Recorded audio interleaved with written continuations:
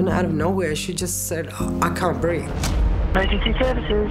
When triple zero lifesavers Still connecting to ambulance.